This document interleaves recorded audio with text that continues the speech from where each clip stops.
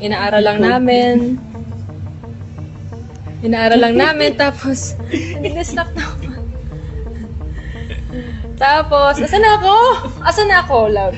Sorry, narinig ko na. Asan na?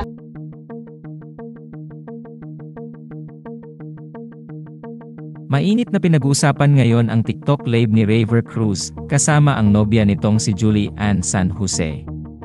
Ito ay matapos mapansin ng netizens na tila hindi daw komportable si Julie Ann San Jose sa kinikilos ni Raver Cruz habang sila ay nakalive.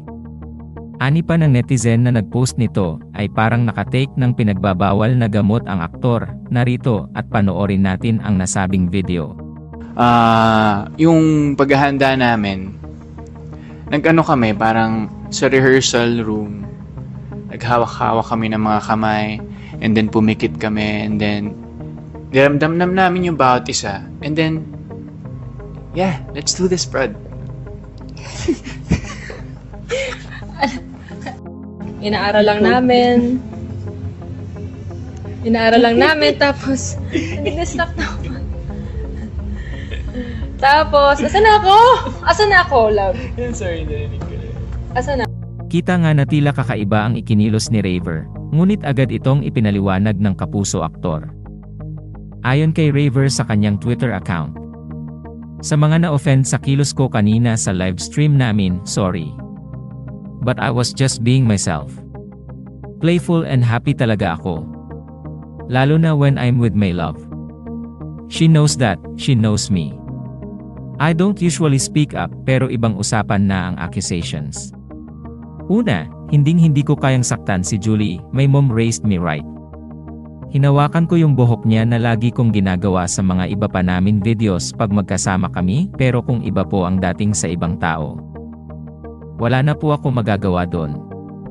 I respect Julie sobra-sobra and sobra ko siyang mahal pati ang family niya.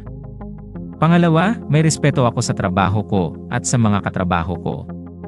Hinding-hindi ako gagawa ng makakasira dun. At sana, matuto na rin tayo rumespeto sa iba at maging malawak ang pag-iisip. Salamat po and good night. Pinabulaanan din ni Julie Ann San Jose na hindi siya komportable sa naturang video at pinagsabihan ang nagpakalat ng TikTok live nila ng kanyang nobyo. Ayon kay Julie Ann, Minsan lang po ako sumagot sa mga ganto but sobra ka na po. Below the belt and harsh na po itong accusations, please stop. Samantala narito at panoorin natin ang ilang bahagi ng nasabing video kung saan ay inakusahan ng kung ano-ano ang aktor na si Raver Cruz. Ayun. O, kamusta naman yung rehearsals? Actually, ito kakatapos lang ng anong rehearsals namin. Nag-stage rehearsals medyo matugulon ng konti kasi dati binibigay lang sa amin yung mga prods. Inaaral lang namin. Inaaral lang namin. Tapos, nag-distract na. Tapos, asan ako? Asan na ako, love? Sorry, narinig ko na. Asan ako? Uh, I'm sorry, sorry. Narinig ko lang kasi yung, ano, No, I forgot, I, I forgot kung ano na yung sinasabi ko. um,